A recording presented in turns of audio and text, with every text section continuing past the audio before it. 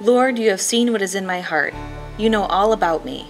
You know when you sit down and when I get up. You know what I'm thinking. You know what I'm thinking, even though you are far away.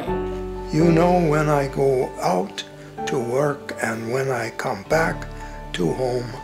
You know what I'm going to say. Even before I say it. You are all around me. Wherever I go, Lord, you're with me. You are with me. You're with me all the time. You hold me safe in your hand. I'm amazed at how well you know me. It's more than I can understand. How can I get away from your spirit? Where can I go to escape from you? If I go up to the heavens, you are there. When I go to work, you're there. If I settle on the far side of the sea, you are there.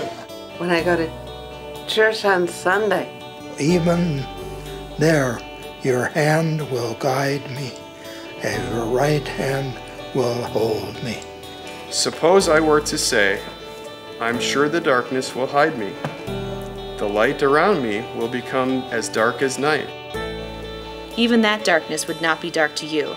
The night would shine like the day because darkness is like light to you. You created me. You put me together inside my mother's body. You, you made, made me amazing. You made me wonderful. How you made me is amazing and wonderful. And I praise you. I praise you. I praise you for that. And fearfully. And wonderfully. Right. Your works are wonderful. I know that full well. None of my bones was hidden from you when you made me inside my mother's body.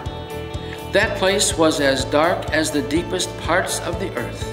When you were putting me together there, your eyes saw my body even before it was formed. You planned how many days I would live. You wrote down the number of them in your book. Before I had lived through even one of them. I am fearfully and wonderfully made. I fearfully and wonderfully made. This is the word of the Lord.